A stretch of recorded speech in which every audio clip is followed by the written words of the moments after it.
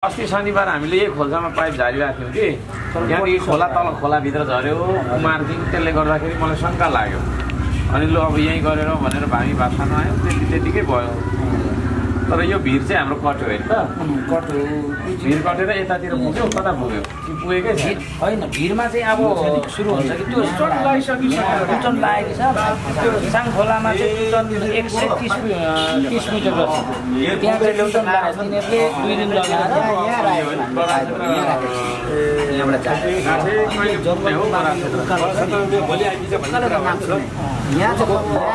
Pipe यहाँबाट झार्छ दुईवटा खोला कट्नु बित्तिकै त फेरि अनि यहाँ अब तल कसरी ल्याउनु त? त्यहाँ त होइन अघि झारिसकेको छौँ। तल हाम्रो यहाँ यहाँ यहाँसम्म झारिसकेको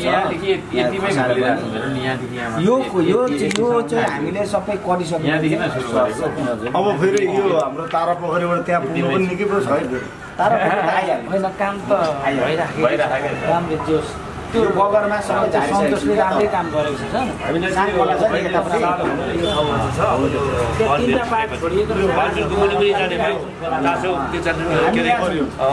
पैँतिस छत्तिसमा होइन? अनि यो शनिबार यो पैँतिस छत्तिसको हिसाबमा चार सय पैँतिस छत्तिस सकिन्छ। अब हामीलाई यहाँ चाहिँ तर यो पनि सजिलै छ। यहाँ मान्छेबाट लामो टोचन पैँतिस छत्तिस।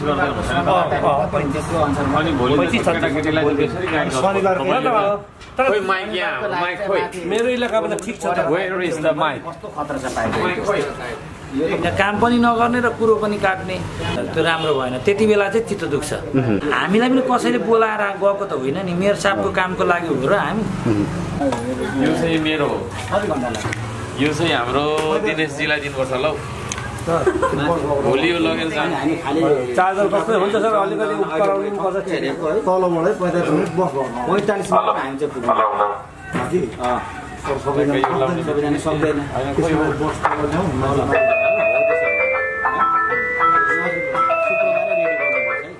रमाइलो रहेछ होइन मैले शुक्रबारे चाहिँ म्युजिक सिस्टम रहेछ जतिजना चढ्छ नि तिनीहरूलाई त्यो यो यहाँ बसको जति लेडी हुन्छ नि उहाँहरू चाहिँ शुक्रबारे चढ्ने यसलाई दाइलाई तपाईँको उयो माथि है मेरो सबले छ माथि चार्ज? यो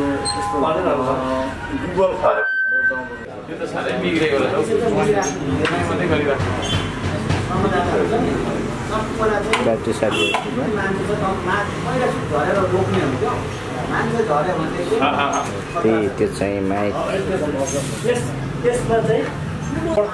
भर्खर आइपुग्यो कि आजको अपडेट चाहिँ के छ भनेदेखि बडो श्रमदाताहरू चाहिँ हाम्रो भाले भाले ढुङ्गा।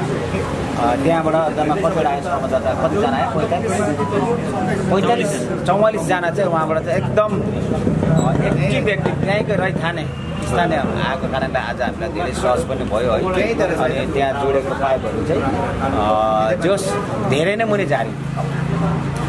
अनि त्यो झारिसके पश्चात पनि त्यो जुन मेन भिड छ नि भिड चाहिँ एकदम काले लाग्दो भिड चाहिँ तपाईँहरूले एकपल्ट त्यहाँको त्यहाँ पुगेर चाहिँ त्यो भिडलाई पनि तपाईँहरूले चाहिँ अलिक अवलोकन गर्ने आएको छ। हामी यहाँ जाँदाखेरि जस्तै कहाँबाट जानु पर्यो त? बाजी भन्ज्याङ गएर अस्तिको बाटो गयो हामी भन्ज्याङ गएपछि अब पहिला ज्यामिरे जाने त। सुवारा जान्थ्यौँ। होइन हामी ज्यामिरे जाने बाटोलाई चाहिँ अब चाहिँ त्यो हाम्रो जुन लेखेको दिस वे छ नि त्यसलाई ठ्याक्कै फर्काएको छौँ हामीले लेफ्ट साइडमा। त्यो बाटो भएर ठ्याक्कै हामी कहाँ निस्किनुपर्छ भनेदेखि अँ, त्यो एउटा थियो नि स्कुल थियो नि स्कुल। स्कुल। स्कुलबाट त यता ज्यामिरे बर्डर त सबैले।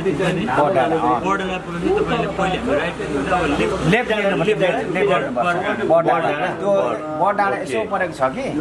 त्यो नलिनु। यतिखेर कोका खोला पाइप बोकेर भर्खरै एकजना हाम्रो सर आउनुभएको छ। सर हजुरको परिचय दिनु न। नमस्ते धन्यवाद। मेरो नाम राजकुमार श्रेष्ठ। उम्, तपाईँ कोका धेरैचोटि प्राय दैनिक जस्तो जाँदै हुनुहुन्छ आज कति दिन भन्नुभयो? बिसौँ दिन। जाँदा त्यहाँको अवस्था के छ सर? अनि के छ कतिको थाकिएको छ के छ भन्दै त आज हामी अब पाँचौँ क्याम्प यो तपाईँको तार पोखरी। भन्ने ठाउँमा। अँ, अहिले काम गरिरहेको छौँ त्यहाँ तपाईँको पाँचौँ क्याम्प स्थापना भएको छ। पाँचौँ क्याम्प तपाईँको भन्नुहुन्छ भने यो चाहिँ तपाईँको अति विकट ठाउँ। माथि डाँडागाउँ भन्ने ठाउँबाट जाँदाखेरि तपाईँको ओह्रालो झर्दाखेरि लगभग लगभग पैँतालिस मिनट।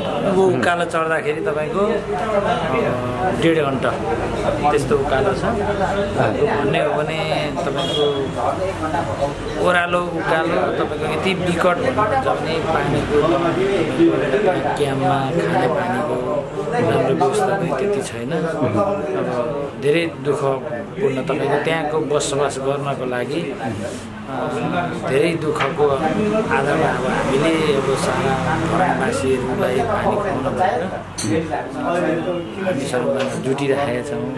र आज चाहिँ तपाईँको त्यहाँको बालडुङ्गा खानेपानी संस्था भनौँ न उपभोक्ता संस्थाबाट होला लगभग छ्यालिसजना जति तपाईँको त्यहाँको सरदानहरू गएको थियो र आज छयालिसजना भन्नुभयो छ्यालिसजना आज। जानुभएको थियो र जम्मा गर्दाखेरि लगभग सत्तरी बहत्तरजना आज पनि श्रमदान गर्नुभयो है। जम्मा भएर गरेको थियौँ। सब टोटल अब प्रोमोटर्सहरूसँग पचहत्तरजना जति हामी थियौँ होइन। तपाईँले अहिलेसम्म बिस दिन भन्नुभयो तिन दिन छुटाउनु भयो सर तिन दिन। तिन दिन छुटाउनु भयो। यति धेरै श्रमदान के को लागि गर्दै हुनुहुन्छ तपाईँले? यो अब तपाईँको निस्वार्थ स्वत स्फूर्त हामी तपाईँको यो धरानवासी र आफ्नो भावी सन्ततिको लागि खानेपानी कोककुल खानेपानीबाट मुक्त होस् धरान सफा होस् भन्ने हिसाबले निस्वार्थ स्वत स्फूर्त हामी चाहिँ आफ्नो इच्छाले तपाईँको सर्वधानमा हामी जुटिरहेका छौँ सहभागी भइरहेका छौँ थकाइ त दैनिक यसरी जाँदा त्यसो त बोल्ने स्थिति पनि अब यहाँ हजुरसँग पनि म यो अ, मिडिया कर्मीहरू जुन हुनुहुन्छ अब यहाँहरूसँग पनि म मजाले बोल्न सकिरहेको छुइनँ आउँदाको उकालो लाग्दो शरीर होइन थाकेर आएको पाइप तानेर आएकोले गर्दाखेरि त्यस्तो अवस्थामा बोल्न नसक्ने स्थिति छ। जुन तपाईँहरू यसरी श्रमदान खटिराख्नु भएको छ होइन यति टाढा बाटो यति धेरै यति ठुलो पाइप होइन गाह्रो यति गाह्रो तर धरानवासी होइन धरानमा रहनुभएका कहिले पनि उहाँहरू चाहिँ श्रमदानमा नजानुभएका व्यक्तिहरूलाई के सन्देश दिनुहुन्छ? के भन्छु भने नि पहिलो कुरो के हो भने अब हाम्रो मेयर साहबले गर्नुभएको भिजनलाई हजुर। उहाँहरूले स्वीकारेर यदि देखेर तपाईँको कुरो अहिले एघार महिना एक वर्ष पनि भएको छैन उहाँले गर्नुभएको देन भिजनहरू तपाईँको त्यो भिजनहरू तपाईँको कोका सर्दो खर्दो ए भनौँ न ए निसाने पकुवा सर्दो खर्दोदेखि लिएर भालु खोला यो ठाउँको प्रोजेक्टहरूलाई सक्सेस बनाए बनाइराखेर चाहिँ धरानलाई पानी खुवाइराख्नु भएको छ। अब त्यसपछिको अब ठुलो विकट एउटा युद्ध स्तरै भन्नुपर्छ यो। त्यो प्रोजेक्टको लागि चाहिँ अहिले उहाँले आह्वान गर्नुभएको खानेपानी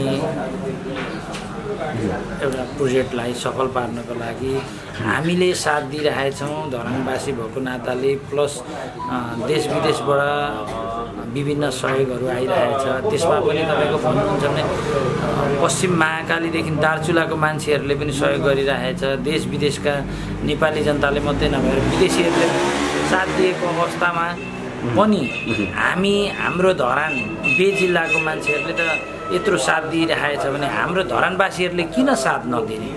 होइन किन नजुट्ने? एकचोटि गरेर हेरौँ न।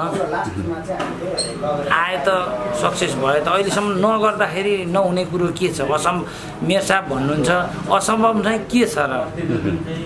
होइन? असम्भव त केही छैन मानव जीवनमा। मानव जीवनले गरेपछि हुने कुरो हो। त्यो काम चाहिँ सफल हुन्छ र म चाहिँ अब धरानवासीलाई यो भन्छु कि सहयोग भनेको धेरैवटा हुन्छ होइन? नैतिक सामाजिक भौतिक र श्रमदान दुनियाँ खालको दानहरू हुन्छ। त्यसमध्येमा सबै जुटेर एकमुष्ट भएर चाहिँ यो धरानमा अब यो प्रोजेक्टलाई सफल पार्नको लागि तपाईँहरू एक दिन हुन्छ दुई दिन हुन्छ होइन? नैतिक रूपले हुन्छ कि आर्थिक रूपले हुन्छ कि सामाजिक रूपले हुन्छ? सबैले चाहिँ सहयोग गरौँ भनेर उहाँहरूलाई म एक अनुरोध गर्नुहुन्छ। आह्वान पनि गर्छु अनुरोध पनि गर्छु। जस्तै सर यसरी तपाईँहरू थकित अवस्थामा आइराख्नु हुँदा तपाईँहरू चाहिँ यसरी श्रमदान गरिराख्नु हुँदा होइन उहाँहरू नआउँदा सबैले पिउने पानी हो होइन धरानवासीले। कतिको चित्त दुख्छ कतिको मन दुख्छ तपाईँहरूको भित्री हृदयदेखि चाहिँ कतिको दुःख लाग्छ? होइन दुःख भन्दा पनि एउटा हौसलाको कुरो हो कि। अब तपाईँको हामीलाई पनि कसैले बोलाएर गएको त होइन नि मेरो साहबको कामको लागि हो र हामी। उहाँको कामको लागि हो र मेरो कामको लागि होइन नि।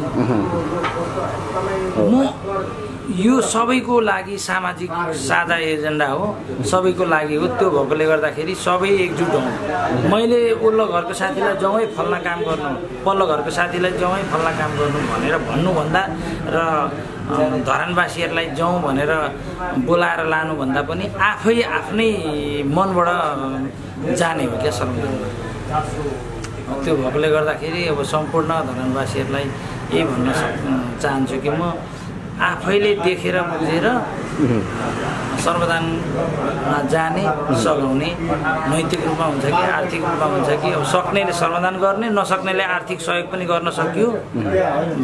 नभए नैतिक सहयोग आर्थिक सहयोग भौतिक सहयोग तपाईँको तर कुरा काटेर अब यो यस्तो त्यो त्यस्तो भनेर कुरा काटेर चाहिँ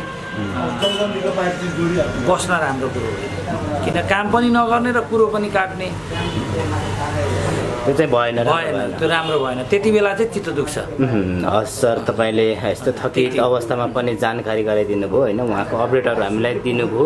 तपाईँलाई धेरै धेरै धन्यवाद भन्न चाहन्छु यो मिडिया कर्मीलाई पनि अब दुई शब्द यहाँहरूसँग राख्नलाई मलाई अवसर दिनुभएकोमा धन्यवाद।